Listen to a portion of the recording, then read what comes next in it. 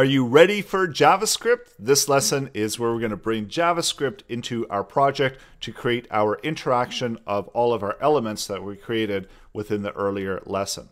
So now we've got essentially an image gallery. We've got some nice colorful images that are sitting there and we want to create some interaction with those images. We need to select those images eh, before we add an event listener. So we can use document and query selector all as we want to select a whole bunch of images. And we might not want to just select all the ones with the image tag. And of course, for a simple project like this, uh, we're fine to do that. We might want to be more specific that we want to make sure that we're only selecting images in a particular class. So just as we do with CSS, we can prefix it with our parent that we want to use, only selecting the elements that have a class of pop and the images inside of that. So now if we console log out images, we're going to have a node list.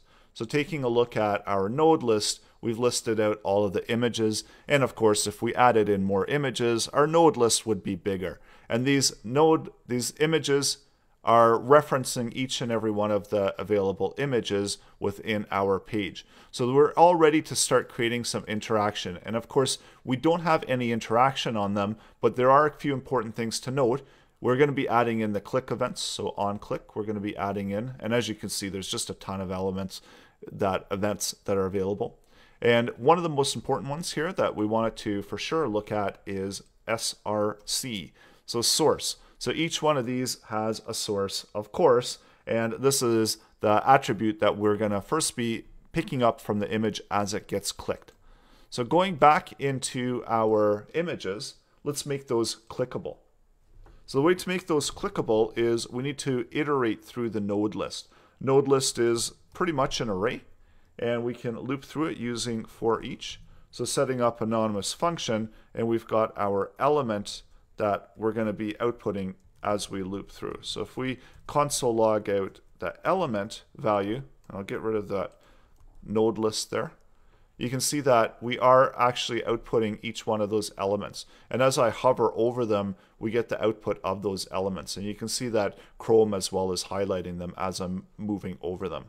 So we've got those elements within an object format, and so now it's just a matter of adding an event listener. So just like the previous lesson, the event listener, once you have it within that element object, you add in the event listener, and the event listener that I want to add in is a click.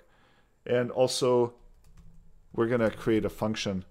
So I'm not using an anonymous one. We're going to have it click out to a function. So that means that we need to create that function.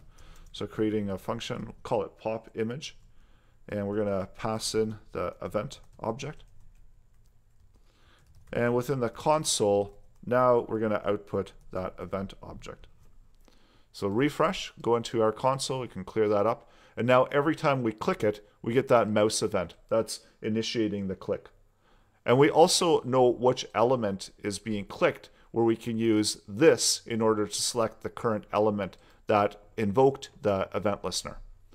So now go ahead and add this into your project. So select out all of the images. You can use the console, console log them out as you go along just to make sure that you are selecting them properly. And once you've selected it and you've created that node list, loop through the values of the node list, outputting the element or whatever you want to call it, and then selecting that object name and adding that event listener and then attaching a function to that click event. And then within the function for now, you can output just that event object. You can also output this as well.